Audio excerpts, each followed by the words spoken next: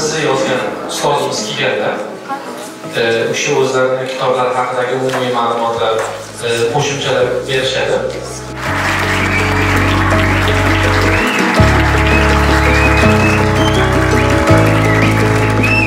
assalomu alaykum qadrli o'quvchilar o'qituvchilar avvalo hammalaringizga katta rahmat shuncha e'tibor chaqirganlaringiz uchun va yana shu o'quvchilarga o'quvchilarga shu kitobni g'ayrat qilib o'qiganlaringiz uchun katta rahmat charchab qolmagansizlar uncha xo'sh. Charchab qolmagan bo'lsalaringiz savdogar ustozi bir birini qancha odam o'qigan shu yerda?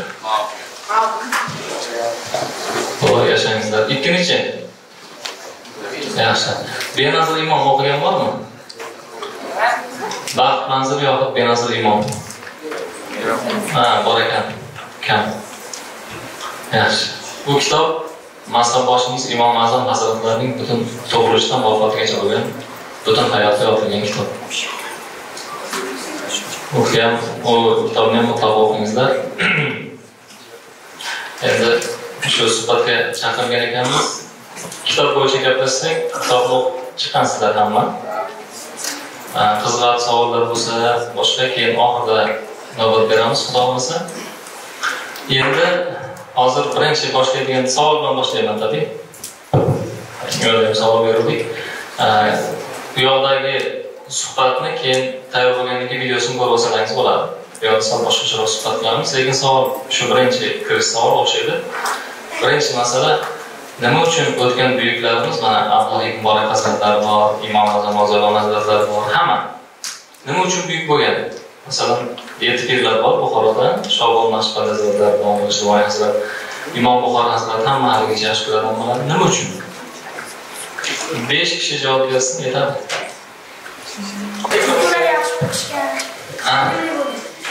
Yaxshi xo'sh ha to'g'ri va tajribali ustoz tanishgan yaxshi. Yaxshi uchta yana yaxshi. O'zlarini ustida har doim ishlaganlar har doim kitob o'qiganlar. Yaxshi. Yaxshi besh yildan endi javob berishdan o'zi javobi hammasi shu nimani ichida bo'ladi o'zi? Bir yigit bor edi har sohada harakat ko'rdi hech ish o'xshamadi keyin bir kuni bir qurolsozga shogird tushdi qurolsoz hamma tushunadi bu so'zni zaman ya'ni kamon yasaydi o'q yasaydi nayza qilich qalqon hamma narsa. Bir qurolsozga shogird tushdi ancha qancha qurolsoz bilan birga yurdi shu ta'limini oldi.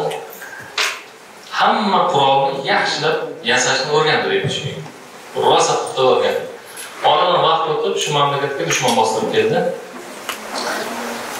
Dushman bostirib kelgandan keyin shu sultonni va uni askarlarini dushman kuchi yetmay yengildi yani bir muddat dushmanni istilosida qolib ketdi. Ana shu paytda shu yigit kamon bilan o'q yasa boshladi. Kamon bilan o'q.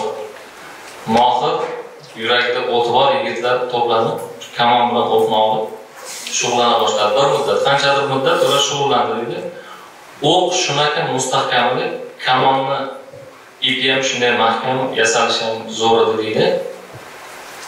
Dushmanni har qanaqa qalqoni unga dosh berolmas ekanda shu qadar puxta ishlangan keyin bular jangga tayyor bo'lgandan keyin qo'qqisdan hujumga o'tdi deydi. Dushman askarlar juda yam ko'p edi deydi. Otliq askar piyoda askar boshqa. Hammasi to'liq qalqoni bor. To'liq jihozlangan qurollangan edi. Kam sonli askar bilan ular qo'shilganda deydi dushman taraf hali ular nima qilib turganini bilmasdi deydi. Ular shunday bittada xuddi pashada yez deb hammasi jangga tushdiyu lekin bir tutday to'kila boshladi deydi. Qalqonlaridan o'qlar o'tib teshib dushmanni nimalarni qisqa ko'rsatishda deydi dushmanlarni qirib tashlab mamlakatni qaytadan mustaqil qildi shu yigitlar deydi. Mana shu ishni orqasida deydi bitta qurolsiz yigit turadi u qurolsiz yigit nayza ham yasardi qalqon ham yasardi qilich ham yasardi kamon hamma qurollari xanjar pichoq yasar lekin u o'q yoy yasash bo'yicha eng ilg'ori eng ilg'ori har sohadan xabardor edi lekin o'zini sohasi bo'yicha eng ilg'ori zo'r. Edi ana shu sabab mamlakat yana mustaqil bo'ldi. Endi boyagi savolga qaytamiz. Javobini taxminan tushundingiz a ya'ni bizni buyuklarimiz hammasi har sohadan xabardor ko'zlari ochiq qalbi uyg'oq bo'lgan. Lekin o'zlarini tanlagan sohasida eng birinchi bo'lgan. Eng zo'ri bo'lgan. Masalan imom azam roziyallohu hazratlari. Qur'oni karim tafsir qilish bo'yicha ham buyuk hadis sharif sharhida ham buyuk. Chunki hadis sharifni eng ko'p bilgan odam qolgan masalan boshlaridan ham olti hadis roviysidan ham abdulla ibn muborak hazratlaridan hadis sharifni eng ko'p bilgan odam imom azam hazratlari bo'ladi. Bir necha million hadis sharif endi sharhida ham buyuk odam kalom ilmi degan ilm bo'lgan uni ko'pchilik biladimi bilmaydi. Odam bir so'z gapirib oqibati jahannam bo'lishi mumkin bir so'z gapirib oqibati jannat bo'lishi mumkin. Ya'ni kalom ilmi bor ana shu ilmda ham eng birinchi bo'lgan. Odamlar imom azam hazratini oldida o'tirsa olimman degan odam bilan imom ashara bilan gaplashadi xato gapirib qo'ymaydi imom ashara bilan ya'ni kalom ilmida shu qadar buyuk bo'lgan? Lekin fiqhda tijoratda ham buyuk odam bo'lgan. Uch yuzta xodimi bo'lgan. Tijoriy ishida uch yuzta juda buyuk ish bu. Lekin imom azam hazratlari masalboshimiz fiqhda eng buyuk qolgan uch mazhab va qiyomatgacha keladigan olimman tolib ilmdan boshqa shu ishda ishlayotgan daromad topayotgan oilasini boqayotgan odam bo'lsa hammasini ta'minotchisi kim? Imom azam zamonida. Tamom sababchi kishi.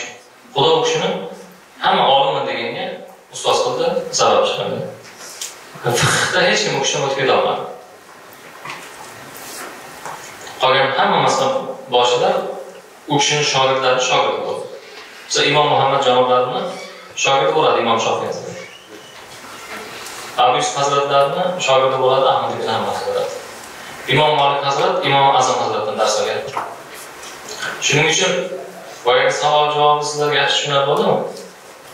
Har sohadan xabardor bo'ling. Bugun internet zamoni e, bir ilmga yetib olish oson zamon e, bir ustoz oldiga maslahatga borish oson zamon eski zamondagi bir otda yo tuyada o'tirib oylab yurilmaydi. Hatto boshqa mamlakatdagi bir ingliz tilida bo'yicha eng zo'r mutaxassis bo'lsa aloqaga chiqib gaplashish maslahat so'rash mumkin boshqa qilish mumkin shuning uchun shunday tez zamonni xavfi ham ko'p tabiiy shuning uchun hamma sohadan xabardor bo'ling tushuning bugungi zamonni o'zi oqil kishi deydi abdulla muborak nima degan oqil kishi o'zini zamonini anglagan odam bo'ladi odam o'zi qaysi zamonda yashayapti siz hozir qanaqa zamonda yashayapsiz yuz yil oldingi zamonda yashamayapsiz hatto yigirma yil oldingi vaqtda ham yashamayapsiz to'g'rimi? Shunday bir zamonki ilm olish ham oson yoyish ham oson bir yolg'onni o'rtaga chiqishi ham oson tarqalishi ham oson bir dalilni orqasidan yetib olish ham oson topolmasligi ham mumkin. Ya'ni surishtirmayapti ham buni odam. Shuning uchun bunaqa paytda nima qilish kerak ekan? Mana o'quvchilar hamma hamma sohadan xabardor bo'lasiz. O'zingiz sohangizni eng yaxshi bilasiz yerda inglizcha biladiganlar qo'l ko'tarsinchi gaplashib oladigan ya'ni. Ruscha gaplashadiganlar qo'l ko'tarsinchi turkcha gaplashadiganlar qo'l ko'tarsinchi arabcha gaplashadigan bormi? Eski o'zbek yozuvini o'qiy oladigan bormi? Grecia.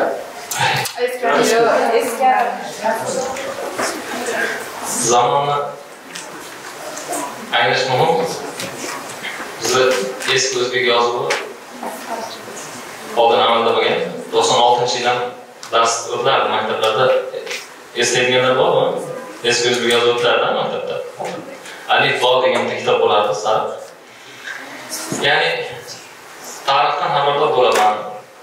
Shu eski davrlar haqida tasavvurga ega bo'laman degan odam arabcha ham o'qiy olishi kerak eski o'zbek yozuvi o'qiy olishi kerak. Eski o'zbek yozuvi bu til emas. Tili turkiy ya'ni hammamizni tilimiz. Lekin yozuvi arab yozuviga asoslangan eski o'zbek yozuvi. Kim masalan tarixni o'rganmoqchi yo qiziqsa qolgan zamonlar boshqa shu yozuvni o'rganish shart yoki shu yozuvni o'qiyotgan bir nomiga borish kerak yoki mutlaqo bir yaxshi insofli tarixchi nomiga borib so'rash kerak. Ana shunda tarixni avvalroq demak mana hozir ingliz tilini gaplashadiganlar kamroq ekan rus tilini gaplashadigan ko'proq turkchani ham gaplashadigan ancha muncha bor ekan endi dasturchi bo'layotganlar bormi orada? Yaxshi. Tijoratchi bo'lmoqchi bo'lgan odam bormi? Iqtisodchi bo'lmoqchi bo'lgan. Siyosatchi bo'lmoqchi bo'lgan odam bormi? Siyosatchi. Qo'rqmasin shkolda darsni o'tib bor ekan siyosat mutlaqo tarixdan iborat. Siyosatchi bo'laman degan odam tarixni mutlaqo bilishi shart kim siyosatchi bo'lmoqchi bo'lsa tezda tarix o'qib boshlasin. Ham dunyo tarixini ham movaroun nahar tarixini va keyin o'zbekiston tarixini. Shu movaroun nahar bo'lgan bizda mamlakat. O'rta osiyo degan tushuncha keyin paydo bo'ldi. Stalin zamoni kirgan ekan bu. Biz o'rta osiyo emas ekanmiz aslida movaroun naharimiz na afg'oniston taraf xorason taraf biz to'liq movaroun taraf shuning uchun shu tarixlarni biling siyosat ukrainani boshqa nimasini bilish hisoblanadi endi hisobchi bo'lmoqchi bo'lgan odam bormi hisobchi yo'qmi yo'q mayli zamon aytdi buxgalter bo'laman degan odam bormi yo'q. Lekin aslida kimdir agar buxgalter bo'laman degan bo'lsa u qaysi korxonaga borib ishlasa o'sha korxonani oltin bir xazinasi bo'ladi misol uchun hamma xalqdan boshqadan qutqarib qoladigan ortiqcha xarajatlari oldin qoladigan bir xazina. Ayniqsa bugungi zamonda chunki bugungi soliq tizimi bank tizimi importda eksportdagi xat hujjatlar boshqalar mana shu buxgalterni ancha miqdorga talab etadi ham bo'lganlardan xabardor ham tadbirkorlikdan xabardor odam yutadi tadbirkor bo'lmoqchi bo'lganlar qo'lqalarga chiqaramiz mutlaqo hisobdan xabardor bo'lsin. Ertaga o'zi qiynalmaysiz tushunasiz boshqa qilasiz xo'sh. Endi o'sha boya aytdikki har sohadan xabardor o'z sohasida eng buyuk bo'lgan savol bergan paytimda kimdir aytdiki shu yaxshi ustoz tanlab bir ustoz bilan birga yuring haqiqatda har zamon ustoz muhim bo'lgan. Har zamon muhim bo'lgan. Ustoz yo'q odam har maqomga yo'rg'alaydi deydi. Bir yigit bor edi ko'zi yasardi o'n yillarcha ko'ziga so'kildi. Uni ko'zasini o'zi va yaqinlaridan boshqa hech kim ishlatmasdi bozorda hech kim olmasdi. Qo'shnilar ham olmasdi hech kim. Ko'zani yasardi har kuni. Doim ko'zi yasagan lekin hech kim ko'zani sotib ololmadi. Nimadir me'yorda emas ko'zani hozir shu ko'pchilik maslahat berdi avval boshqa maslahat berganda o'g'ri yo'l qo'ymadi deydi. Shu oddiy narsada loyni pishtaman yaxshilab qoriyman. Keyin tayyor bo'lgandan keyin pishiraman. Qolipga solib turib bo'ldi keyin ustidan bo'yasam tayyor ko'za hech g'urur yo'q qo'ymadi lekin vaqt o'tib umrvor bo'lgandan keyin ko'pchilik maslahatiga ko'ra ustoz nomiga bordi. Yarim yil o'tmasdan yaxshi ko'zagar bo'ldi. Yaxshi ko'zagar. Endi ko'zani yasardi odamlar qarz qiladi. Hatto odamlar buyurtma beradi shuning uchun ustoz bilan bir odam yetti yillik yo'lni yetti kunda bosib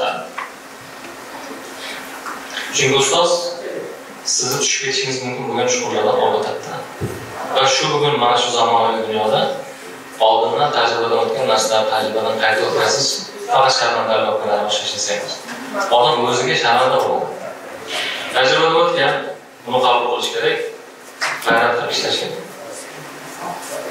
xo'sh endi urug'larimiz deydi kunni uchga bo'ladi bir kunni uchga bo'ladi mana endi sizlar hozir nechiga bo'lib vaqtlar bo'lib harakat qilyapsizlar mana benas imomda o'qiganlar bo'lsa mana boya bir kishi o'qitadi vaqtni boshqarib bo'lmaydi.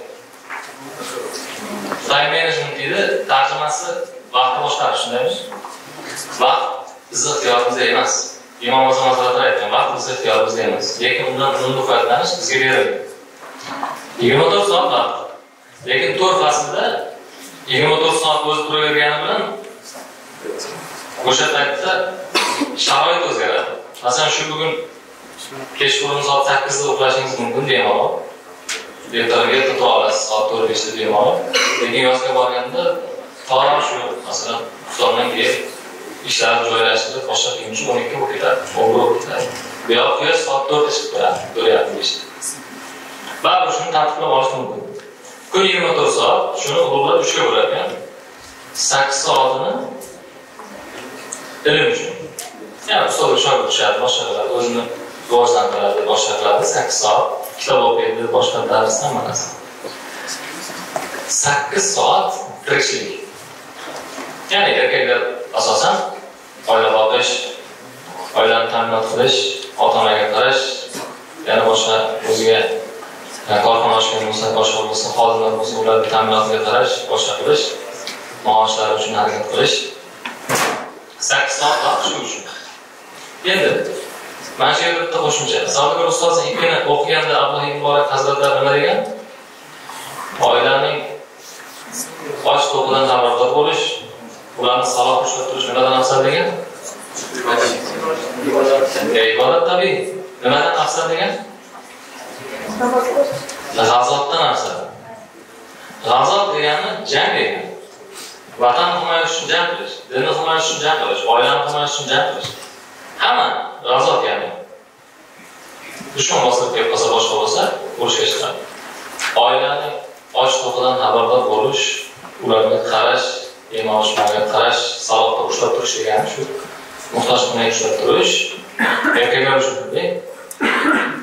g'azotdan afzaldir degan ayniqsa bugungi yolg'on ayniqsa yolg'on ushlagan dunyoda odamlar yaxshi ishga ko'chaga chiqib turib yomon yerdan chiqib qoladi. Yaxshi ishni niyat qilib chiqadiyu lekin o'tkir boshqa odam lekin oldida uy ish turibdi oilasini ta'minoti ham erkaklarga tegishli. Ikkita ron ko'tarib borgan odamni darajasi bo'lsa buyuk oilaga sakkiz soat ish mehnat shu qolgan sakkiz soat qoldi bizga o'xshagan oddiy odamlar uchun sakkiz soat uyqu. Lekin yana g'ayrat qilaman degan odam uchun besh soat yetadi besh soat uyqu yetadi lekin hozir endi ovqat sifati buzilib ketgan havo aynish bor boshqa bor hozir besh soat uyquga normal odam qo'yish qiyin chunki tana zaharlanib ketyapti. Yana undan tashqari ijtimoiy tarmoq boshqa yoqdagi ma'lumotlar miyani ham aytib qo'yapti. Unaqa aynigan miya besh soatga ko'rmayapti uyquga. Shuni qo'shib yetti soatmi sakkiz soatmi uxlash maqsadga muvofiq bo'ladi ana shu uchga bo'lib olgan. Ana sizlarga ham shu tavsiya uchga bo'lib olish kerak. Sakkiz soatdan keyin shu sakkiz soatni bir biriga qolishtirmay g'ayrat qilib harakat qilish kerak. Chunki deydi vaqt shunday sarmoyaki hozirgi mana o'tiribmiz bu boshqa aytgan edi bugun ertaga topib bo'lmaydi ketadi shu kun mana hozir biz yaşımız 35'e kadar bekletken olsa, yani 35 var mı yok mu bilmiyorum. Yaşayan tamamımız malum, yaşamayan tamamımız. Ben yaşamayan tamamımız azdan yana azdır. Su 35 nasıldır? 17'dir. Mesela. Belki 20'dır, belki 10'dur. Belki 10'dur, 40'dır. Mesela. Ben sizin oralarınızda hazır 15 yaş adam var mı? 15 yaş. Var. 16 yaş. 17 18 18 va bunaqa kattasi mana odam ko'p hamma gaplarni kitobda ham yozib qo'yib ah, vaqt ah, qadriga yetish kerak. Bu shu bugun bo'lib qolmaydi. Lekin siz har kuni oz ozdan shu ishga harakat qilsangiz bir kun u o'zini natijasini bera boshlaydi odam o'zini rivojlantirishga harakat qilish kerak bir zo'r gapi bor. Aytadiki o'z vujudingga tafakkur aylagin. Har ne istasang undan istagin. Vujud. Ya'ni borliq u faqat quruq tanadan iborat emas ruh bor. O'z vujudingga borligingga tafakkur aylagin. Har ne istasang undan istagin. Degan bir odam bor edi deydi kishi har kuni hatto haftada yetti kun ishlarganda oilasini ta'minoti boshqa ishlarkan ishlarkan keyin bir kun bir donishmand oldiga boribdilar hazrat debdi hech vaqtim yo'q. Shu yerda quyosh chiqqandan boshlab qosh qo'yaguncha ishlaydi quyosh charchab qolgan bo'laman shu foniga uxlayman yana shu bomdodga o'tiraman yana ishlayman. Bir necha yildan beri hayotim shu. Nima qilishni bilmayapman. Agar ishdan bo'shaydigan bo'lsam oilam ta'minot qolib ketadi. O'zini ham ta'minot qilolmay qolaman ta'til ololmayman boshqa qilolmayman vaziyat shunaqa shu ishga bog'lanib qolgan odamlar nima qilsam bo'ladi? O'zimni rivojlantirmoqchiman arab tilini o'rganmoqchiman boshqa qilmoqchiman shu keyin u kishi aytibdiki ertalab nechta turasan uyquda men uch taxmin aytgan bugun uch taxminga moslaymiz olti masalan. Bugun bomdod vaqti olti kirish ya'ni azon vaqti olti oltida turaman yaxshi. Aytibdiki sen har kuni beshta tur. Beshta tur. Bir soat vaqting bo'ladi. Ana shu bir soat o'zingiz ustida ishlang. Kitob turadigan har kuni bir soat. Men bugungi kunda kunduz tilni o'rganaman desa vaziyat bor o'zbekistonda muhit bor ingliz tili o'rganaman desa tez o'rganib olishi mumkin ya'ni o'zini ustida ishlab to'g'rimi? U zamonda arab tili ham shunday bo'lgan oson oson o'rgangan shunda deyapti ana necha kunda yigirma to'rt soat bo'ladi shu. Yigirma to'rt kunda bir kun. To'g'rimi yigirma to'rt kunda bir kun. Aytibdi sal o'rganib olgandan keyin ikki soatga chiqadi. Ya'ni ikki soat tur. Ya'ni uyquni ham odam tanasi ham shunga moslashadi ya'ni niyat mahkam bo'lsa. Ana shunda o'n ikki kunda bir kun bitadi to'g'rimi? Yuz kunda o'n kun bo'lsa bir yilda bir oy to'g'rimi man kunduz kuni shuni yo'laga boshqa darsda shu odam dedi ikki yilda arab tilini yaxshilab so'zlashadigan o'qib tushuna oladigan savol chiqdi ikki yilda har kuni ertalab turdi muntazam. Shu ish har kuni muntazam. Bu ishni muntazam? Keyin ish boshi birinchi kuni deydi ishlaydigan korxona rahbari uni ishchilarini rag'bat qildi yani ish boshi qildi shu ilmi bor xat qog'oz qiloladi yotoladi ishlayoladi boshqa keyin shu diyonatli odam bo'lgani uchun vaqt o'tib o'zini tijoratiga uni sherik qildi. O'n foizga sherik qildi. Endi u odam ishbosh bo'lgan payt vaqt ortdimi vaqt ortdi. Sherik bo'lgandan keyin vaqt ortadimi? Ortadi. Ya'ni odam o'zini rivojlantirib bo'sh vaqtga ega ham bo'ldi. Ham mavqei ham baland bo'ldi. Shuning uchun mana sizlar o'qiysiz har kuni o'qiysiz bir xillar har kuni ishlaydilar ishlaydiganlar bor boshqalar bor o'zingizga qarang ertalab erta tursangiz ham sahar vaqtiga duo ketgan hamma biladi sahar vaqtiga duo ketgan bu sahar vaqti qachon o'zi tong tong qachon uch kishi javob bersinmi keyin yo orqadagi neft turing quyosh chiqsa yangi vaqtda tong qizlardan bir kishi javob bersin tong qachon qachon tosh bo'pti hozir ikkita javob bittasi quyosh chiqishdan oldin bittasi quyosh chiqqan payt yana kim turib quyosh chiqishdan oldin asli tong bu subhi sodiq bomdodga azon aytirishdan oldingi vaqt bugun oltida bomdodga azon aytsa shundan oldingi vaqt tong bo'ladi sahar bo'ladi tosh undan quyosh chiqquncha quyosh chiqqandan keyin o'n besh yigirma daqiqa odam uxlamaslik kerak baraka ana shu paytda bo'ladi. Shartda quyosh chiqishiga qarab turib shunday. Shartovat boshlagan o'n besh yigirma daqiqa. O'tkazib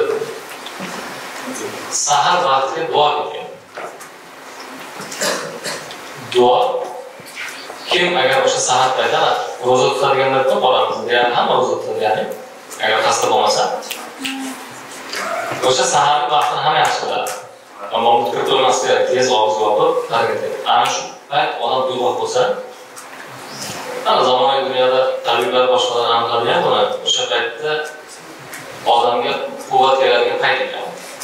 Odam miyasini tozalaydigan quvvat beradi salomatlik keladigan payt o'sha payt o'sha paytda ozgina uyg'oq bo'lib turib yaxshi niyat boshlasalaringiz boshlasangiz sahobalardan sahr roziyallohu anhu o'tgan. U kishini eshitganlar bormi sahr roziyallohu anhu u kishi deydi shu hadislarni eshitdi tongga baraka aytgan sahar bilan ham bir uyg'oq bo'ldi oldin bu yo'q edi odamni faqat niyatlar. Yaxshi niyatlar bor. Niyatlar maqsadlarga maqsadlar rejalarga aylantirib harakat qilishgan oldin faqat faqat niyat bor edi. Lekin vaqt keldi shu odam tijorat niyati bor edi halol boylik niyati bor edi deydi. Oradan vaqt o'tib shunga yetdi hatto shunday vaqt bo'ldiki pulini qo'yadigan joy topolmay qoldi shu odam to'g'ri. Usmon roziyallohu anhu abdurahmon ibn avf roziyallohu anhu o'xshagan dunyoni boy bo'lib ketmagan bo'lsa ham pulini qo'yadigan joy topolmay qoldi sahar vaqtini mahkam tutgani uchun. Abdurahmon ibn roziyallohu anhu aytganki men hech qachon yelkamda tomoq quyoshni chiqarmaganman ya'ni har doim ko'chaga chiqqanda quyosh chiqmagan bo'ldi saharda endi bugungi kunda butun dunyoda tizimlar o'zgargan boshqa bo'lgan ish vaqti davlat ishi to'qqizda boshlanadi boshqa shunda ham sahar vaqtini ochilmasdan avvalambor bir haftada bir keyin ikki uch sahar vaqtlari uyg'oq bo'lishga o'sha paytlar yaxshi niyat qilishga ruhingizga oziq bo'ladigan yaxshi kitob o'qishga harakat qila boshlasangiz keyin keyin odat bo'la boshlaydi. Ana shunda boshqalardan ko'proq yashaysiz. Masalan boyagi masalaga yana qaytib kelamiz. Bir yilda bir odam bir oy yutib qoldi to'g'rimi? O'n ikki oy edi bir odam sahar bo'lib bir yilda bir oy yutdi u odam boshqalardan ko'ra bir oy ko'p yashagan bo'ladi. Boshqalardan ko'ra bir oy ko'p yashagan bo'ladi. Haqiqatda shunday sinab ko'r. Kimdir ellik yil yashaydi biri yuz yil yashaydi. Ikkalasi ham ellik yashagan o'zi aslida va undan tashqari kunduz kuni xuddi shunday besamar vaqtni o'tkazib olganlardan ham ko'ra ko'p yashaydi odam chunki bu hayot shunchaki mavjud bo'lish uchun emas bu hayot. Bu hayot yashash kerak odamlar yashash kerak yaxshi. O'zingizni va sizdan keyin keladiganlar hayotini yengillashtirish kerak. Agar unaqa bo'lmasa mana kitobda o'qitlaringiz odam shunchaki mavjud bo'lib o'tib ketadi xo'sh. Endi boyagi gapni hamma tushundimi? O'z vujudingga tafakkur aylagin. Ne istasang undan istang mana bugungi kunda sizni og'irlaringizni unday yo'q tabiiy chunki yaxshi joyda o'qiysiz boshqa odamlar repetitor qidirib umrini o'tkazib boradi bunga boradi bunga boradi vaqt o'tib ketaveradi zo'r bitta o'qituvchi bo'lsa hop deb yigirma to'rt soatda kallasiga tut qo'ysa tayyor bo'lib qolsa unaqa bo'lmaydi. Sekin sekin sekin sekin harakat harakat shuning uchun odam doim izlanish kerak o'zidan oldin shu yo'lni bosib o'tganlardan maslahatlash kerak. Chunki maslahatlash haqida biz ko'p gapirganmiz. Yana aytaman shuni. Shunaqa xuddi xabarlarda keladi hikmatda. O'zi bilib boshqa bilan maslahatlashgan odam biladi shu ishni. Boshqa bilan maslahatlashgan odam butun odam. Butun odam. O'zi bilib boshqalar bilan maslahatlashmay bir ishni amalga oshiradigan odam yarim odam shalom yarimta. O'zi bilmaydi. Boshqalar bilan maslahatlashmaydi endi odam qanday odam bo'ladi shunday bo'ladi shuning uchun mana salohin aybiy haqida kitob o'qilaringizmi hech o'qiganlar bormi? Yo kinosini ko'rgan. Salohin aybiy bir vaqtida saljulardan qudusni ozod qilgan ana shu odam bular o'xshash jihatlar bor. Amir ibn hazrat anani biladi u kishi eng zo'r strateg eng zo'r siyosatchi. Bir vaqtni o'zida olim arab tilini mukammal biladi qur'oni karim tafsir qila oladi hadis sharif oladi qori odam lekin strateg siyosatchi. Qo'dir shu odam butun dunyo tanigan shu qadar katta davlat qurganki mana eski xaritalarni ko'ring. Qarasangiz ko'rasiz. O'ta katta davlat bunaqa davlat urushdan keyin hech kim qilmagan oldin ham bunday katta davlat endi davlatni qurgandan keyin uni boshlash ham kerak u boshlagan shuning uchun tarixda eng buyuk sultonlar tepasida ham davlat tuzib uni boshlaganni boshida turadi tepasida qiziq ko'ring ham davlat qurgan ham uni boshlagan yuritgan endi Amir Hazretlar nima qilardi? Salohat Hazretlar nima qilardi? Zahid Muhammad Muhammad Hazretlar nima qilardi? Biladi o'zi. Askarlarni yaxshi bilmaydi, sarkarasini yaxshi bilmaydi. Lekin bu ish eng go'zal bo'lgani uchun maslahatlash. doim maslahat qilishadi shunga yutaveradi yutaveradi sizlar maslahatni odatdan. Benazir imomni baxtmanzur yoki benazir imomni mutlaqo o'qingizlar maslahat sizlarga. O'sha yerni boshiga yozib qo'y biz. Kirishga nima deb yozilgan o'sha bitta so'z bor. O'qiganlar biladi ulug'larning odati odatlarning ulug' bir buyuk odati haqiqatdan buyuk odam bo'ladi shuning uchun o'zgalarni odatini boshqani o'rganishga harakat qilingizlar qiziqingiz. Qiz bolasi o'g'il bolasi maqsad sari odam harakat qilishi kerak. Endi sizlarga savol. Mana kimdir tijorat qilmoqchi va tijorat qilmoqchi bo'lgan qo'l ko'targanlardan bittasi qo'l ko'tarsin ha shu mana xosatan sizga ham ommadan hammaga savol tijorat qilmoqchisiz ish nimadan boshlanadi oldin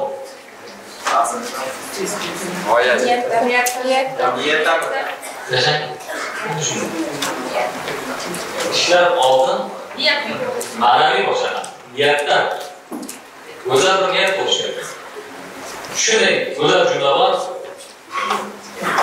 Niyati yo'qning qiymati yo'q. Yodlamangizlar bir ishni niyat qilmagan bo'lsa niyat bo'lmasa uni qiymati bo'lmaydi. Niyati yo'qning qiymati yo'q. Shuning uchun mana tijorat qilmoqchisiz. Bu oldin niyatdan boshlanadi. Ishlar qayerdan boshlanadi? Niyatdan ma'naviyatdan ma'naviy tarafdan boshlanadi. Niyat qilasiz. Odamga yaxshilik qilasiz bo'ladi o'zingiz ko'rasiz ustoz xizmatini qilasiz shogird uchun ustozga boshqa qilasiz saharlab ko'rasiz kitoblar o'qiysiz duolar qilasiz. Ana undan ma'naviy ishdan keyin ishlar moddiy aks eta boshlaydi. Piyoda lekin bugungi moddiy dunyoda ko'pchilik birinchi moddiyatga yopishadi shartta shunday bo'lsa tijorat deb tasavvur qilsa biznes tasavvur qilsa yo boshqa ish tasavvur qilsa yo chet elda ishlash tasavvur qilsa odamlar tanasiga shunday fikr keladi bu yoqqa boradi xaskash bilamanmi kiradi xaskash pullar qazon bo'layotgan joyda u boshqa chet el biznes ham shundayda pullar qazon bo'ladi. Shunday xaskash holatda kuni bilan xaskashlab oqshom bilan ko'tarib tushadi. Odam shunday deb tasavvur qiladi ishni oldin ma'naviy tomoni bor har qanday ishga kirishingizdan oldin bu ishni bilishingiz kerak nima ekanligini ertaga xato qilib uchun birovni haqqiga kirib ketmasligingiz uchun birovga zulm qilmasligingiz uchun boshqa bo'lish uchun shunga aytganman yaxshilik qil boshqa qil ming ming odamga osh yedir uy qur boshqa qil lekin agar birovga zulm qiladigan bo'lsang ishing chatoq holat zulm faqat urush bilan tepish bilan ezish bilan bo'lmaydi. Pul bermasligi mumkin. Haqqini deb qo'ygan bo'lishi mumkin. Hatto o'zi bilmaydi shuni. Yoki bilib qiladi anavi haqqa yeyayotgan odamni o'zi sezmasligi mumkin. Lekin zulm. Yoki erta uylanadigan yigitlar uylanganlar bor xotiniga zulm qilsa masalan bu ham zulm nohaq zulm bo'lsa agar. Ya'ni normalda erkak deydi odam xotin bo'lmaydi. Bu xotinlar eriga zulm qilsa masalan eriga? Ha bor shunday. Ham istisno qilolmaymiz yoki bola ota onasiga zulm qiladi yo. To'g'rimi lekin ota onasini bolasini urishi tarbiyalash boshqa zulm emas. Ota onani bolasini usti haqqi ado bo'lmaydi. Hech qachon. Shuning uchun har qanday kasbga boshlashni oldin nimadan boshlanadi birinchi? Niyat. Ana niyat keyin nimaga aylanadi maqsadga aylanadi shunday turib orzu hech qachon ish bo'lmaydi orzuni katta qilib orzu qil orzu qil bilan bo'lmaydi orzu xom hayol hozir niyat qilish kerak niyat qilsak biz eng ozdan agar shu ishga erisholmay qolsak ham biz foydadanmiz yaxshi niyat qilsak agar biz aniq foydadanmiz yetmasak shu ishga orzu hayol shuni amal boshqa zararlarimiz quruq orzu bu amal zarar lekin niyat amal foyda keltiradi sizga endi mana oramizda shogird tushganlar bilan o'sha yigitlar uchinchi qizlarda o'g'il bolalarda boshqa kasb kosiblikda yo moshina sozlash boshqa qilish bormi shunday odamlar shogird tushgan? Ha nima ish shogird tushgan? Sartaroshlik. sartaroshlikdan nima ishga ishga tushgansiz ha yashang yana ko'chlik tushishga ishga tushishga kerakmi shogird tushishi kerak hayotingiz zo'rmang mana ilm olishdan tashqari erkaklar bitta hunari ham bo'lishi kerak kamida bu hunari ham bor bog'bonchilikdan masalan chunki bog' ekib qo'ysangiz o'zi bu katta bermaydi parvarishlashadi kasallik keladi boshqa bo'ladi har ishda shuning uchun har sohadan xabardor o'zlaringiz sohangizda eng yetuk eng to'g'ri bo'lishlaringiz kerak. Xo'sh endi nihoyat siz niyat qildingiz maqsad qo'yib rejaga aylantirgandan keyin navbat nimaga keladi harakatga siz harakatga tushguncha ularda ishlar indamay turaveradi harakatga tushaverasiz ishlar boshlanaveradi bir bola chaqa deydi yo'l o'rtasida tosh bor ekan shuni ichidan toshni yumalatmoqchi bo'ladi bola kichkina bolacha katta toshni yumalatmoqchi o'zicha shu toshni chekroq olib qo'ymoqchi endi tosh katta birinchi kuni odam indamay bo'lib kiraveradi keyin keyin onamni oldiga kelib turib shu bolaga yordam berib toshni olib o'tkazib niyatingiz katta maqsadingiz katta bo'lishi mumkin yo'lga endi sizga yordam beradi xudo jo'natadi yana xolis bo'lsa xudo yordamchilar jo'natadi. Shuning uchun yoki xuddi shunga o'xshash boshqa misol. Bir aylanib keladigan shaharlar aylanib yo'l bor ekan. O'shani o'rtada kanalni ustidan bitta ko'prik qo'yadi deb yigit ketdi. Harakat harakat qilib bo'lmabdi. Arqonlashib ko'rib boshlab bir necha kun harakat qildi shuni ustida odamlarga bosib turibdi. Sergeli bor boshqa bor. Bu bittada ustunga ham olib ketadi arqonni ham og'ziga ketadi ustun kulganlar ko'p ko'p lekin odam? Har shaharni aylanib kelaveradi avval o'ziga yoqmaydi uzoq masofa va keyin xalqqa yordam bo'lsin deb shuni quramiz deb harakat bir necha hafta shuni ustida ishladi bir necha hafta. Ittifoqda bir kuni shu yoqdan vazir o'tib qoldi. Sulton vaziri. Qaradi bir yigit tirmashib harakat qilyapti ko'prik so'rabdi nima qilyapsan shu ko'prik nima uchun qurmoqchisiz shu shaharni odamlar eng asal aylanib keladi shu yo'lni shuni kesib o'tib ketsa umri bo'lmaydi. Shu aylanib kelgan vaqtni boshqa sarlaydi hamshasini keksa boshqa shuni harakat qilyapti hech o'xshamayapti desa ha endi nima o'tkazdik deydi vazir lekin ertasigayoq ish boshlandi. Katta bir ko'prik tushib tushadi bu bolalar avlod boshqa hammasi shu ko'prikdan o'tdi. Ya'ni masala shu. Siz harakatga tushasiz ishlar keyin boshlanadi. To siz harakatga tushmaguncha u ishlar boshlanmay turadi. Shuning uchun xushomad degan masala bor. Xushomad nima biladimi xushomad ko'rik nima biladimi biladi o'zbekcha o'qib ketgan bu so'z a paxtalik o'zbekcha. Xushomad tushunmasligi mumkin. Paxtalik tushunadi. Ya'ni xushomad aytadiki mumkin ikkita odam ustozga ustozga birovni bilan ustozga ota onaga xushomad har qancha xushomad qilaversa to'g'ri lekin boshqa maqsadlarda boshqa nimaga xushomad kelmaydi odam to'g'rini bilish kerak ota onaga xushomad qilaverasiz chunki ota ona deydi qaysi farzandim ko'p yaxshi bo'lsa o'sha farzandlar yaxshi bo'laveradi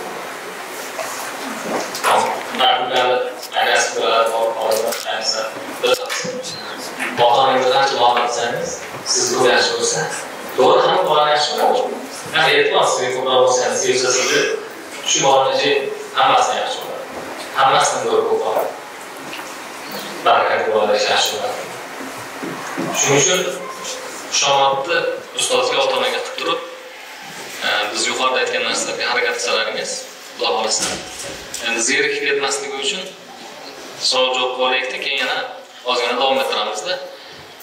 Xo'sh kitob bo'yicha yo boshqa masalada qiziqarli savol bo'lsa kimda qiziqqan savollar bo'lsa yetti kishiga nima qilaylik ruxsat beraylik. Shunday savol bo'lsinki u hammaga foydali bo'lsin.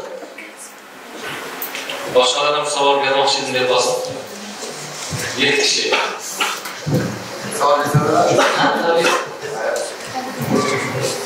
kitobni o'shan reja maqsad qayerda buni sizda ideya qanday kelib sizga shu ro'yxatdan ilhomingiz albatta o'sha sababchilar bu ish o'zi tamomi xudodan yoshligimizda endi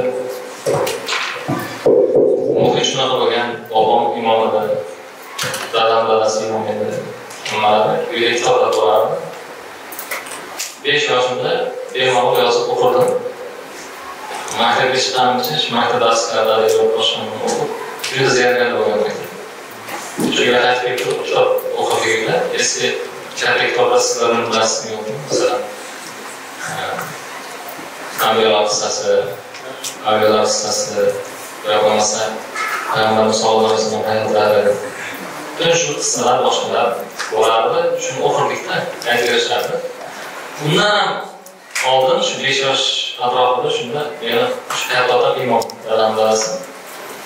U kishi bizga rivoyat aytib berardi, eshitganimiz uchun pul berardi bizga. Sal minut uchun uyqudan turib, pul uchun shunday otamni o'qilardi. Chunki pul beradi. Yostiqdagi pul bo'lardi, otam kelsa salkam yuz yoshda vafot etgan. Yostiqdagi pul bo'lardi, bitta rivoyat aytib berardi, o'sha rivoyatlar hammasi esimda. Hayot qilib. Qarab turardi, shu eng nima eshitardi, yaxshi eshitib bo'lganmiz ekan, hammamizga pul. Biz pul bergan emas, rivoyat bergan edik. Kim bilardi, kim bilardi. Ana shunaqa muhabbat uyg'otishganda. Oradan vaqt o'tib, yillar o'tib, tarixga qiziqlik boshqa bo'ldi, kitoblar o'qib boshladi.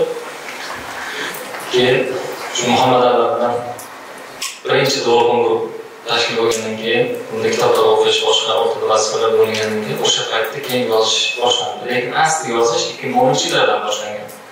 U ham o'sha tongimizni boshqa kichik-kichik bolalar uchun yozib berardik.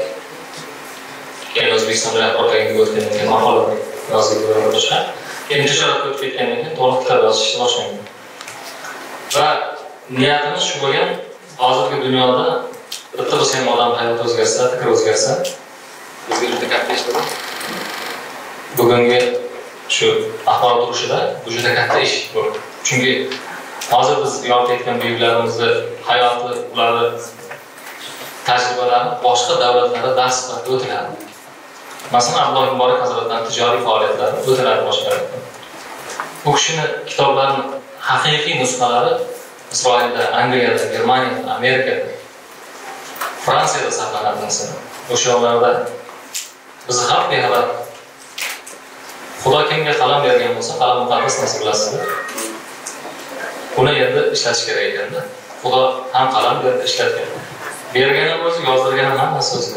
sabablari chiqarib shuni yozdirdi. Biz niyat qildik, niyatimizga yetkazdi. Xudoga berdi shukur. Mana nihoyat kitoblar o'qidi odamlar. O'qidilaringiz. kimdir hayotini o'zgartirdi, kimdir maqsadini o'zgartirdi, kimdir niyatini to'g'riladi. Ana shu biz uchun katta yutuq bo'ldi. Ilhom o'sha eski, ish yangi. Shunday. rahmat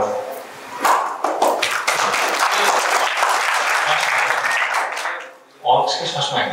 O'zi aslida olqishlar o'ta rasmiy joylarda o'zi olqish yaxshi-ku. Har doim olqish yaxshi emas. Olqishlashga ko'p shoshmang. Assalomu alaykum. So'ramoqchi edim, o'sha kitobni yozishda manbalarni qaysi kitoblardan olgansiz? Yaxshi savol. Musnat kitoblari bor, Abdulla Muborak Hazratlarining o'zbek tilida bor. Izlasangiz chiqadi. Kitoblar, hadislar Xo'sh. Undan tashqari, o'sha arab tilidan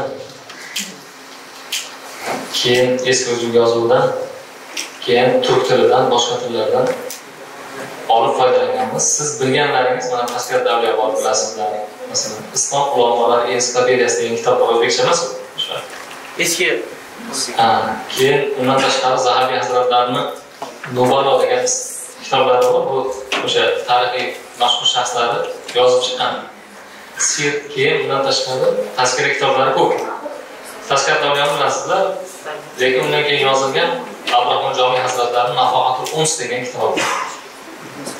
Keyin Alisher Novoiy hazratlarini Muhabbat shabadalari degan kitobi bor.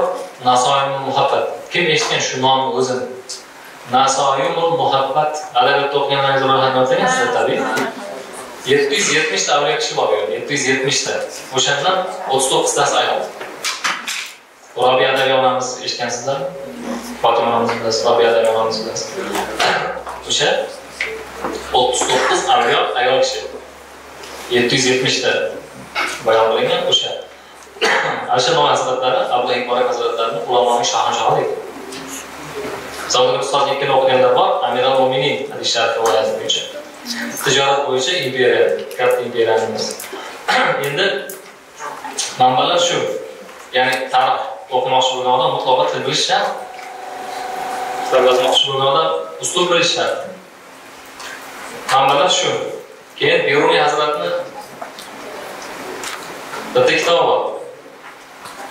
Qadimgi xalqlardan qolgan yodgorliklar eshitganlar bormi yo'qmi o'sha kitobdan ham foydalanganmiz so'foliyat hazratlarini maslaki muttaqin sabotu ojizin degan kitoblar bor. Eshitganlar bormi?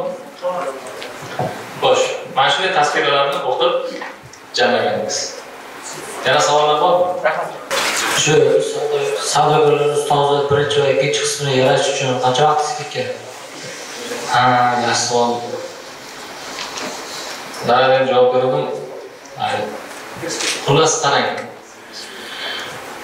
ikkalasini hozir sizni qo'lingizga keldi birinchisi o'n sakkiz bo'lsa keyingisi yigirma uch. Mana shu vaqt oraliqni hisoblangda lekin aslida savdogar ustozi biri uchun bir yildan ko'p vaqt ketgan bir yil. Savdogar ustozi ikki uchun ham bir yildan ziyod vaqt ketgan. Ma'lumotlarni yig'ib olish uchun. Chunki eng muhim masala bu.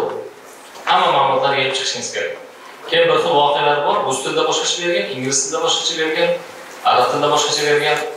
Turk tilida boshqacha bergan o'zbek tilida boshqacha bergan ularni ko'rib chiqish kerak qarab chiqish kerak so'rash kerak boshqa qilish kerak. Bu bir kitob uchun o'rtacha bir yil kamida vaqt ketadi agar bu kattaroq bo'lsa.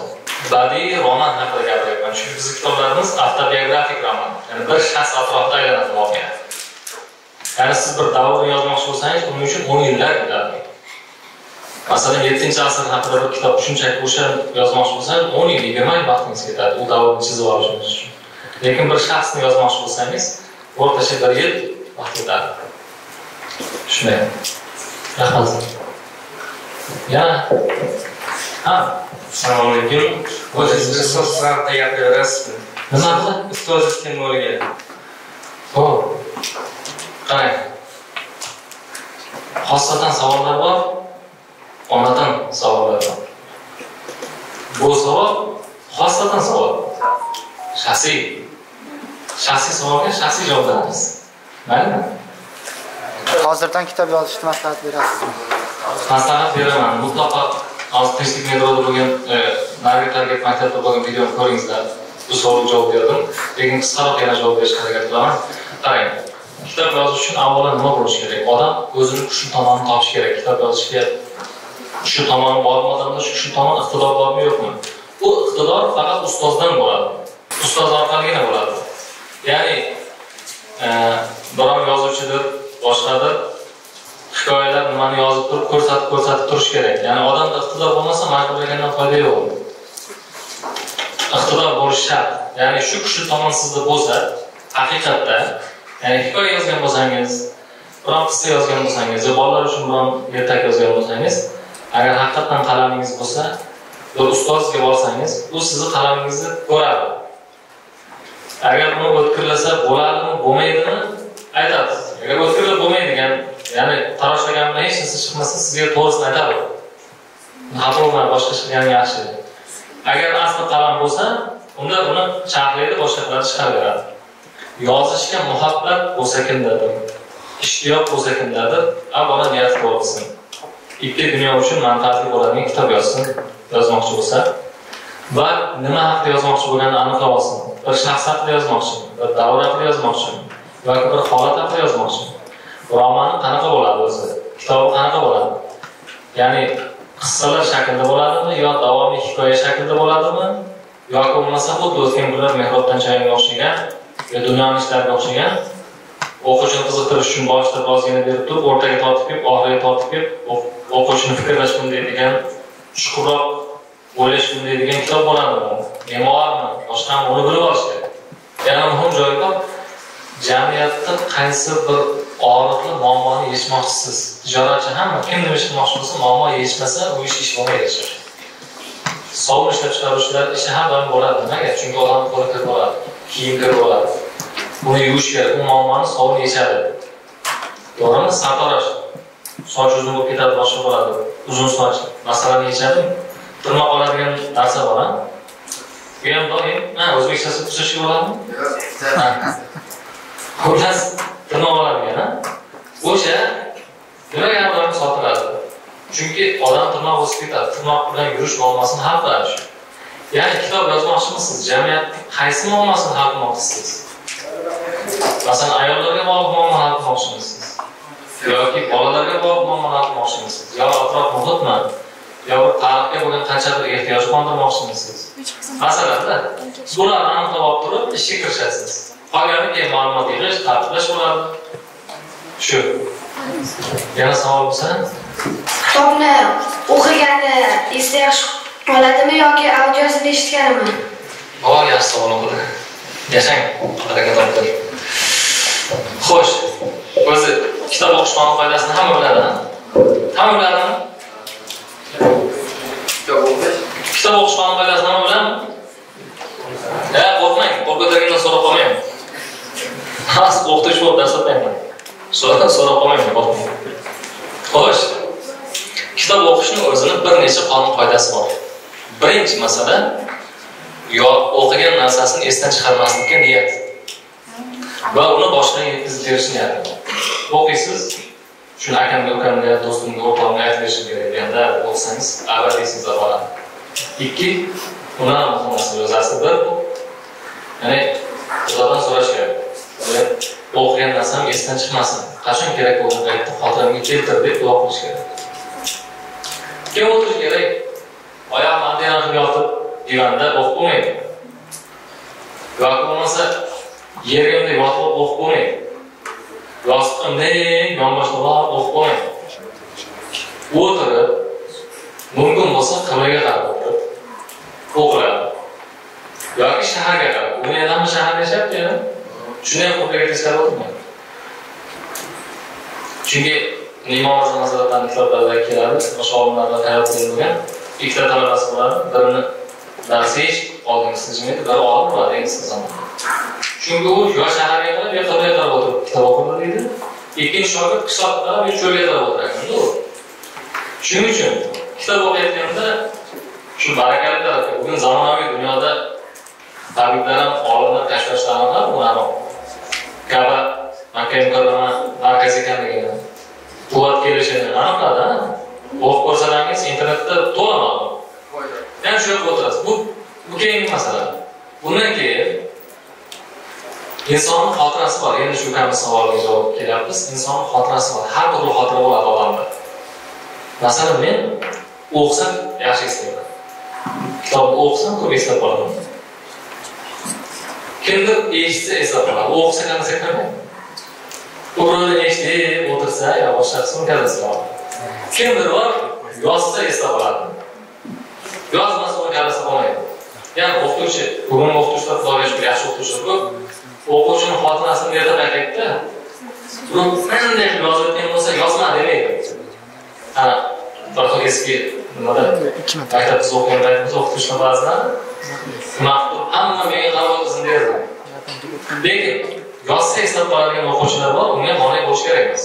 Chunki u yozmasa hayotda kalasida qolmaydi. Endi to'rtinchi toifa bor u aytib bersagina eslab qoladi u o'qiydi yo eshitadi boshqalar. Endi birovga aytib bermasa kimgadir bo'lishmasa umuman kalasida qolmaydi odam ana shu xotiralardan qaysi birida ekanligini bilib olishi kerak. Ana shunga qarab harakat qiladi. Mana sizni xotirangiz eshitganda yaxshi eslab qolsangiz demak eshitasiz ko'p. Lekin til o'rganish masalasida yondashuvsa boshqacharoq yangi bir tilni o'rganmoqchi bo'lsangiz kamida yuz soat eshitish kerak eng kam yuz soat eshitish kerak mashq qilish kerak ya'ni eshitish kerak yuz. Chunki kichkina bolani ko'rgansizlar bilan u ikki yoshgacha yuradi u yoqdan bu yoqqa bunday qarab yuradida bir kun gapirib qoladida o'zi. Shunday gaplar gapiradi katta odamni bir ichiratib qo'ygan o'xshaydi aytasiz bu gaplarni qayerdan gapiryapsizda chunki hamma hammani eshitib yurgan odam. Shunday chiqqandan keyin olib chiqadi shuning uchun kichkina bolalarga jim o'tir deyish katta xatoda o'ynab yurgazib olib qoladi uch kundan keyin o'sha gapni takrorlaveradi kichkina bolani diqqatini o'yin bilan jalb etish o'yin bilan dars bilan emas boshqachasi yuradi shuning uchun xotirangizni aniqlab olasiz ana shu xotiraga ko'ra harakat qilasiz tushundingizmi va boya birinchi masala shu xudoyim shu o'qiy orqali qachon kerak bo'lsa xotiramni paydo qil menga yetkazib bering deb so'rab keyin boshqa ulashni qilasiz o'qiysiz. Yana bir kishi savol bersin. Rahmat assalomu alaykum alaykum assalom imom azam hazratlari haqiqiy real haqiqiy bo'lganmi yoki? Rivoyatlarga asosan yozilgan yaxshi savol. Endi benazir imomni aytyapsiz o'qidingizda shu ha sodiq ustoz ham o'qidingiz benazir imomni mutlaqo imom azam hazratdan hayot yozilgan endi imomi azam hazratlari haqidagi biz yozgan kitob sodiq ustozni kitoblari ham mutlaqo hayotda bor odamlar. Mutlaqo yashagan tijoratlarni qilgan olim bo'lgan. Lekin biz savolingizni to'ldiraman. Ha. lekin biz uni kitob holiga keltirayotganimizda voqealarni bir biriga bog'lash uchun qo'shimcha qo'shishga majburmiz. Birinchidan eski tillarda boradi aytadi ha? shunga o'xshash bir xil so'zlar bor bugungi kunda uni siz tushunmaysiz jola degan so'z tushunasizmi jola. Bor ha. Shabnam degani tomchi. Qilov. Yana ham ha saharda tong chiqasiz ular ustiga dodlanadi ha? tushadi bu ya'ni so'zlar biz shu qadar qashqarlashib ketdik bugungi dunyoda odamga tushunarli bitta so'z topib tushunib kerak o'ylanib qolasiz o'tirib olib yozasizda buni o'quvchi tushunadimi tushunmaydi deb boshlaysiz tushunadimi yo'qmi shuning uchun bir xil so'zlar biz besh olti kishidan so'rab ko'ramizda yoshlardan shu so'zni tushunasanmi desak ha tushunaman desa taxminan chiqarib olamizda demak tushunadi shuning uchun bu odamlar bo'lgan faqat biz hikoyalarni bir biriga bog'layotganimizda masalan ko'chada ketayotganda otga minib ketayotganda yoki odamga qo'shilgan joyda ularni biz qo'shamiz.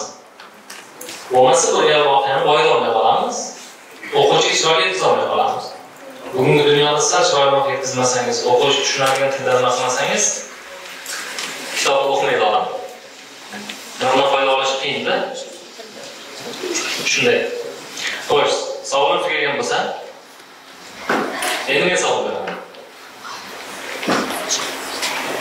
xo'sh savdogar ustozi bir ikkini o'qitlangiz a birlar bir o'qigan ikkini o'qimaganlar bo'lsa ham mayli.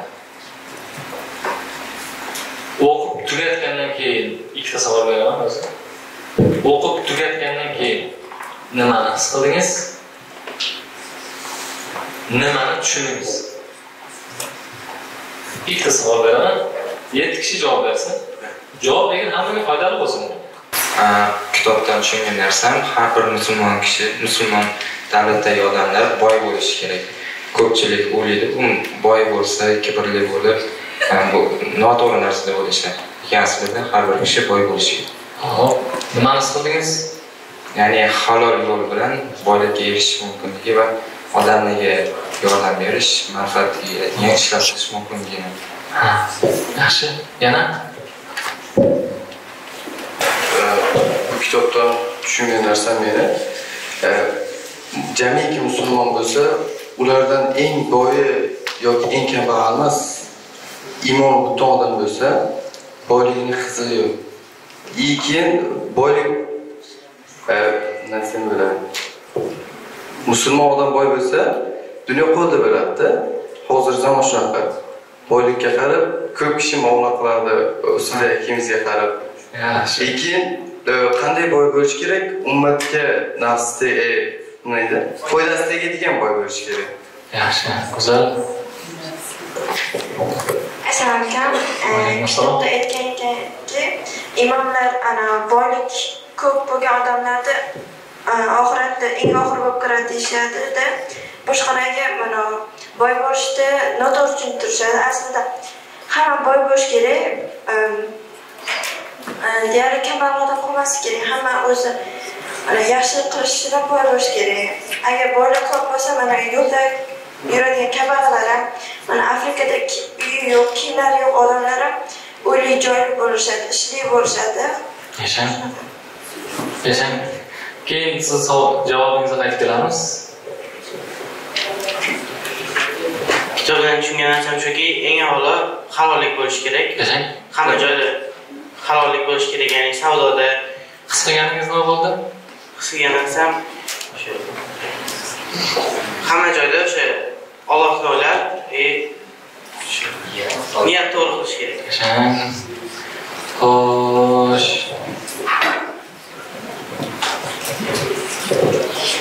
Assalomu alaykum. Eh, kitobdan tushungan narsam shu bo'ldi tarixda o'tgan ya'ni islom dinidagi tarixda o'tgan hamma buyuk shaxslar islom dinini ham eh, kuchli o'rganganligini tushungan narsam ham bitta ustoz ustoz bo'lganligidan faxrlanishligini tushundim his qildim. Demak tushundingiz his qildingiz bir xil aynan. Xo'sh. Eng yoqqan sahnalardan biri ikkala guruh holati ikkala kinosi o'tganlar keyin cho'pon bola hikoyasi eng yoqqan sahnasi. Chunki cho'pon oddiy boladek biladi oddiy musulmon kishi bu yerda nima qilyapti. Deb o'ylashi mumkin. Lekin bolaga shunday ta'lim berilganki kelajak ma'lumotga u o'z diniga va yurtiga xiyonat qilmaydigan qilib farzandiga degan keyin bugungi kunda ko'pchilik yoshimiz o'tganimizdan keyin e, oxiratimizni o'ylab qolamiz nima qilamiz degan savolga javob topish ana shu ikkala kitobda ham chiroyli sahnada qanday o'limni e, qabul qilish kerak va nima qilish kerak degan savolga javob berdi yashang endi davom etamiz hamma yaxshi savol hamma o'zini tushunganini gapirdi tabiiy ha man shu savdolarni ustozini birini o'qib tugatganman va o'sha menga eng yoqqan tarafi chunki o'sha musulmon odamni luqmasi toza bo'lsa o'sha duolari ham niyatlari ham o'sha bolasi ham e, o'sha har narsani birdaniga eslab qoladigan unaqa bo'lar ekan yashang barakalloh. Xo'sh endi mana shu qizimizni boyagi javobiga qaytamizda bir ikki daqiqa. Ya'ni boylik o'zi qoralanmagan ya'ni solih sahiy boylik go'zal narsa. Lekin eslab qolingizlar yaxshilab abu hafsal kabir hazratlar aytadi imom g'arazon ustozi agar degan ilming bo'lmasa ma'naviyating ma'rifating bo'lmasa boylik senga balodir degan u sarva boylik sening boyligingga balodir odam demak ma'rifati ilmli bo'lib turib qo'lda pul bo'ladigan bo'lsa bu hammaga yordam bo'ladi bu yaxshi balo bo'lmaydi ne'mat bo'ladi endi afrika masalasiga keladigan bo'lsak e, doim aytaman ko'pchilikka iltimos qilaman. Sizlarda ham shu iltimosim. Birinchi masala mamlakatimizni yaxshi o'rganing. Hozir bu yerda viloyatdan kelganlar ko'pchilikmi? Qo'l ko'tarsinchi viloyatdan kelganlar to'g'ri ko'tarsin. Hamma viloyatdan kelgan ekansiz mana o'zingiz qayerdan kelgansiz? Jizzaxdan kelgansiz. Ha. yaxshi. Endi qarang. Men ham jizzaxdan kelganman bahmaldan qodam endi mana qashqadaryodan kelgan bir kishi bor bilasizmi? Bormi? Bor qashqadaryoda suv yetib bormagan joylar bor a odamlar qiynalib suv tashlaydigan joylar bor. Chunki eski kanallar orqada ketgan suvlar to'g'rayapti to'g'rimi xo'sh. Surxondaryoda ham bor a buxoroda suv masalasi bormi? Va? Odamlar hozir artizan quduq olib chiqaryapti to'g'rimi endi sizlardan iltimosim shuki avvalo mamlakatni o'ylang chunki odam birinchi o'zini mamlakatiga nima qilish kerak. Tabiiy o'ziga yaqinlariga birinchi sodiq ustoz ikki o'g'lingiz birinchi yaxshi qayerdan boshlash kerak? O'zingga o'zidan. Qani yasha ota ona oila farzand. O'zi. Keyin sekin o'sha qarindoshlariga qo'shnilariga ana shunday shunday shunday kengayib ketaveradi yo'q afrikadagi odamlarni o'ylash buyuk qalb egasi ekanligini da'vo qiladi u haqiqatdan qalb katta bo'lsa buyuk bo'lsa bayon o'ylaydi lekin shunga yarasha mamlakatni ham o'ylab qo'yish kerakda. Kimdir boyib ketsa kuchayib ketsa albatta o'sha chekka qishloqlardagi odamlarni suv masalasi bor boshqa masala bor. Ana shuni o'ylab qo'ying. Bizni mamlakatimizda ham qiynalayotganlar bor. Nihoyatda suvsiz qiynalayotgan joylar ko'p. Qachon boyib kuchayib ketsangiz shu gaplarni eslab qo'ying bir sayohat qiling o'n ikkita viloyatga men o'zim o'n ikkita viloyatga aylanib chiqqaman o'n ikkita viloyat va har bir tumaniga bilaman vaziyatni ahvolni masalan mana buxoroga borganimda o'sha ayollarni ketmon chopib ishlab yurganini ko'rib qalbimga yig'lavay degan men so'raganman so'raganimda ko'pchilik erkaklar rossiyaga ketgan yo'qmi qiynalayotgan o'zbekiston. Buxoroga ishlab shunday bo'lib qolishi kerak emasku bugungi kunda buxorodan kelgan bo'lsa o'sha buxorosini obod qilishni o'ylasin kimdir qashqadaryodan kelgan bo'lsa qashqadaryoni obod qilish surxondaryodan kelgan surxondaryo ham tabiiy. Toshkentdan boshlasin. Bu yoqda o'tsin agar toshkentdan ortiq bo'lsa bunday qarasin toshkentga ehtiyoj yo'qmi? Surxondaryoga qashqadaryoga o'zini kelgan joyga shu e'tiborni qilishga shu masala eng muhim. Shuni yaxshilab esda saqlab qolasiz. Yana boyagi savolimni o'ylab ko'rasizlar. Nimani tushundingiz? Nimani his qildingiz? Yaxshilab o'ylang. Keyin buyuklar nima uchun buyuk bo'lgani boya boshida bilasizlar inglizchaga nima deymiz shuni qaytarib olamiz? Qaytarib olamiz degani nima deydi inglizchasiga replying. Repeat ekan xullas birinchi ustoz tush masalasi. Muhim o'sha keyin har sohadan xabardor o'z sohasiga yetib borish o'sha o'qiy eslagan usta bolani eslagan yaxshilab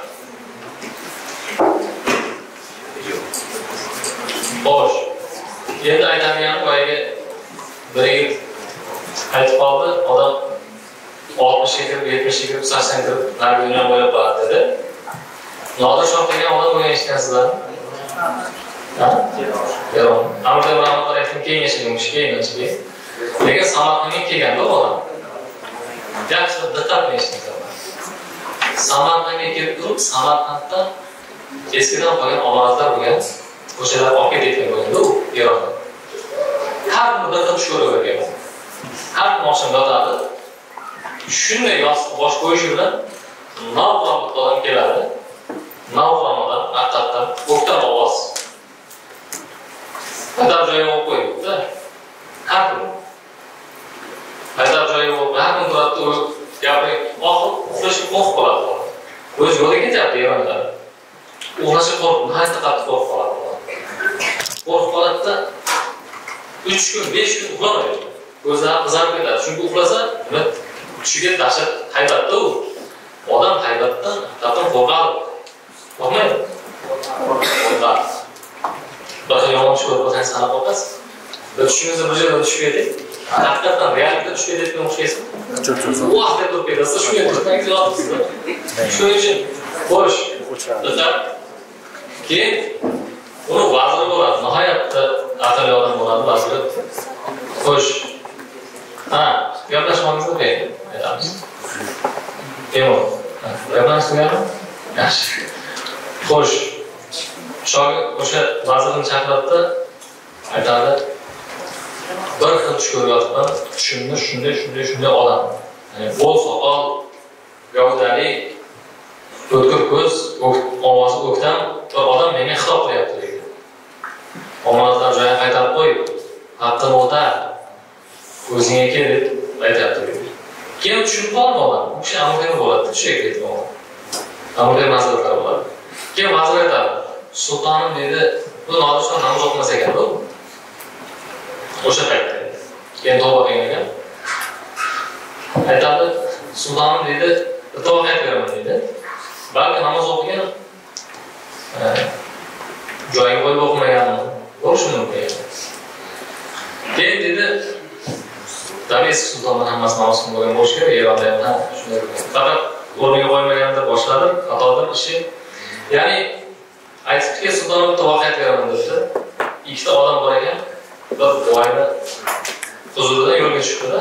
Boy ularga yigirma to'rt tangadan pul beribdi. Yaxshi eslabman yigirma to'rt tilla tanga. Bir tilla tanga to'rt butun yigirma besh gramm oltin besh gramm salkam yigirma to'rt tangadan tilladan beribdida aytibdiki sayohat qilinglar lekin chipta olib qo'yinglar bitta tangaga. Chiptalar bo'lsin. Olib ketmanglar bu joyda. Chipta olinglar ya'ni. Bo'pti deb rektor qachab ketdi. Aytib beryapti vazir sultonga diqqat keyin boyagi bittasi yigirma uch tillarni sovuryapti yeb ichib o'ynab kulib ya'ni bugun shu odamlar bor hayotda yeganim ichganim yurganim yugurganim zayon qilganim qoladi deydi ha bu bo'lishi kerak tabiiy boshqacha ham bo'lishi kerak bir tanga olib ketdilar boyagi odam yigirma to'rt tangani rosa sarmoya qilib boshlatib ishlatib qo'ydi ikkalasi cho'lda uchrashib qolibdi cho'lda keyin boyagi bir tangasi qolib ketgan odam aytibdiki men qiynalib ketdim shuncha tangani ishlatib bo'ldim desa bu aytibdiki endi shu bittagina tanga qolibdi bilet ol endi shu tangaga bu yoqqa qolib ketmadi deb aytibdida keyin boyagi odam deydi shu bir tangaga bilet olib yo'lga chiqibdi keyin izohlaydi vazir aytadiki sultonim bu boy zot. Alloh taolo. Va ikkita odam bizga o'xshagan qullar bizmiz. Bizni hayotga jo'natyapti yigirma to'rt har kuni yigirma to'rtta tanga bor. Yigirma to'rt soat ya'ni. Ana shu bir soatni eng bo'lmasa ham chiptaga sarflash kerak. Sizga shu chiptani esdan chiqarib qo'ygansiz desa ana shu menman deb rosa yig'laydi nodashlar keyin tavba qilib qaytarib omonatlarni tashlab ketadi samarqandga hayotim to'g'rilaydi bo'ladi ya'ni bir tanga shuning uchun bugun yoshsiz boshqasiz ota onaga xizmatni o'rnatib chipta sotib oling aka ukalar bilan muomalani yaxshi qiling chipta sotib oling ustozga muhabbatli bo'ling aytganini qiling chipta sotib oling kitob o'qing ilm oling chipta sotib oling ana shu hamma ishlaringiz o'rinladi ana shunda chipta sotib olasiz. Yo'lda qolib ketmaysiz. Shuning uchun ey oltmishga kirgandan keyin sizga tushib qolmasin. Xudoga shukur bugun hayot o'zbekistonda o'zgargan ehm, odamlar ancha qalbi uyg'oq ko'zi ochiq ma'lumot olish ancha oson ehm, o'qish erkin masalan ilm olish boshqa. O'zbekistonda chet eldadir boshqa o'qish mumkin ya'ni e, o'zbekiston ichida universitetga kirish ham oson. Ilgarigidek bitta universitetmas beshtalab topshirasiz. Ya'ni haqiqatda jamiyatga foyda beradigan bir sohani tanlab turib g'ayrat qiling chiptalar sotmang xo'sh endi mana tugatyapmiz suhbatni. Oxiri shu uchta savolga ruxsat beramiz. Uchta. Lekin bu savol hammaga foydali bo'lsinda. Xoh kitobdan bering. Xoh o'zingizni qiziqtirgan bir tarixiy masala bo'lsin yo boshqa bo'lsin uchtagina uch kishi va mutlaqo boya savol berganlardan emas boshqalar savol bersin javob berganlardan boshqalar javob bersin san'at faol bo'lsin esda saqlab qolsin boshqa qilsin uchta uch kishi savol bersin shunga javob beramiz. Keyin xudo xohlasa ketamiz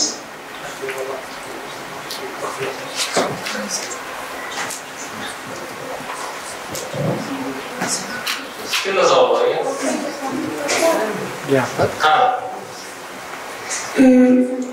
Endi agar biznesga pul tikmasa, biznes yurishadimi yoki joyida qotadimi?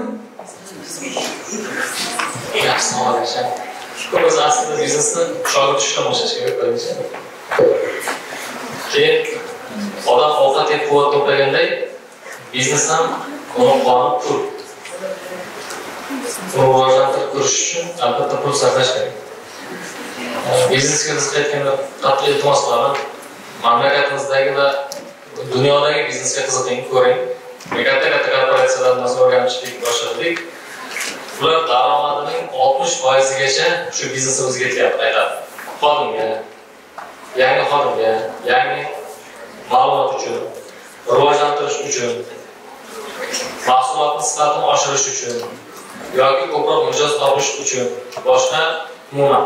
Ya'ni topgan daromadni oltmishini shu savolingiz javobi shuki yurib turgan biznesni yana ham yaxshi rivojlanishi uchun topilgan daromad qismi shu biznesni o'ziga yana qaytadan kiritilishi shart. Mana shunda o'sadi lekin uni shu oxirgi tomchi qolgancha sog'ib qo'yish kerak emas. O't yemish yemoq o'timorga eshikga berib turgandek berib turish shart. Xo'sh yana assalomu alaykum xush kelibsiz avvalambor ustoz savdogar va ustozini birinchi kitobida shunday voqea keladi. Barcha savdogarlar uchun manfaatli bo'lgan bir voqea ya'ni o'sha mol olish jarayonida abdulloh ibn muborak hazratlari bozorga borib ko'proq mol talab qilib ya'ni o'sha esladingiz ko'proq mol talab qilib o'zida kamroq sarmoya bo'lsa ham e, bozordagi imkoniyatdan ham kattaroq narsani talab qilib ishlab chiqaruvchini uyigacha borgan holatlari bor. Shunda e, masalan e, niyati masalan ko'proq narsa olish bo'lmasa ham bu yerda qandaydir yolg'onga moyillik bo'lgan joyi yo'qmikan? Mana shu narsani qanday o'quvchiga izohlab berishimiz mumkin? Savol o'zi aslida kitobda izohlab qo'yapmiz uni. Yana tushuntirishga majburman nasiya savdo degan narsa bor mahsulotni qo'lingizga tegmay turib sotib olish mumkin emas fatvo bo'limidagi chiqargan buni musulmon idorasidan masala kitoblarda ham bayon etilgan ya'ni siz yuz so'm o'n ming so'mlik narsa uchun yuz so'm berib o'sha mahsulotni olishingiz mumkin sotish uchunda tushundingizmi ishlab chiqaruvchidir boshqadir ulgurchiga borasiz sizga masalan aytaylik. Eh, yuz qop shakar kerak bo'lsa o'n qopini yo bir qopini pulini to'lab olib chiqib sotishingiz mumkin. Nasiya savdo bu. Bu yerda yolg'on yo'q. Birinchi masala nasiya savdoligini muhim ekanligi ya'ni mumkin ekanligi. Ikkinchi masala agar siz haqiqatda odamlarga yengillik qilmoqchi bo'lsangiz siz mahsulotni arzon ola bilishingiz kerak. Biznesni o'zi asosiy foydasi nima desa arzon olish. Ishlab chiqargan narsangizni iloji boricha kamroq xarajat qilib xalqni zimmasiga kamroq nima? Yuk tushirish. O'sha ikkita masala bor u yerda. Yolg'on yo'q boshqa yo'q mabodo kimdir o'sha yo'lni o'rtasida ishlab chiqarish bo'lib chiqib qolganda balki shu bilan yakun topardida ish o'tirardi kelishardi mahsulotni bir qismi uchun pul to'lab qolganini olardi. Ko'rinsa ko'rinmasa bor puliga olib turib sherikchilikda mana tanishuvni yaxshilab o'rinlatib yaxshi tanishib olgandan keyin doimiy savdoga o'tib ketaveradi odam shuning uchun bu yerda yolg'on moyillik yo'q. Nima bor? Tadbir bor bu yerda tadbir. Tadbir rishmosh bo'lsangiz tadbir qilasiz. Ana shuni tadbir bor. E, tadbir soddalaman ikkita uch qo'ygan odamga yarashtirish uchun tadbir qilasiz. E, yoki bir ishni bir odam bilan kelishib bir ishni yo'lga qo'yish uchun tadbir qilasiz o'ylaysiz boshqa qilasiz ana shu tadbir masala shunday uchinchi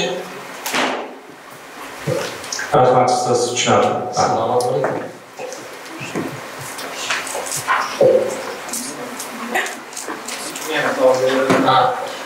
yo'q o'saman hamma narsani bilasiz tushunasiz savolga hojat yo'q ya'ni.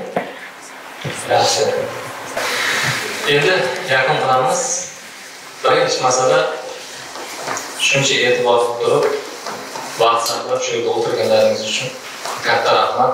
Vaqtlaringizni hozir qilasiz ikkinchi masala olqishga shoshmang. O'zi o'tirasizmi joyingizda olqishlang onasini olqishlaymiz xo'sh. Ikkinchi masala qachondir sizlar bilan ko'rishib qolsak boshlasa bu qolgan gaplari aniq. Haqiqatdan o'zini sohasini tanlab olgan ko'zlari quvonib turgan odamlarni ko'rishni istayman avval qachon ko'rishib qolsak tezroq shu nimaga o'zlaringiz yo'lingizga tushib olishlaringizni xohlayman. Umrlaringizni uzoqlamasdan mana oralaringizda o'n besh o'n olti yosh o'n yetti yosh odamlar bor ekan. O'n yetti desangiz mendan ikki barobar kichkina odam. Bu degani mendan eng kamida ikki barobar imkoniyat ko'p degani. Shu imkoniyatni yana ikki barobar oshirganda meni yoshim yetganda bizni yoshimiz yetganda bizdan ko'ra o'n yigirma barobar ko'p xayrli yaxshi ishlarni amalga oshiradi sizlardan umid qiladiganim kutadiganim bu. O'zingizdan keyin keladiganlar hayotni yengillashtirgan shu ikki masala sizlarga katta rahmat. Hammani ishlariga omad. G'ayrat qilingizlar charchamangizlar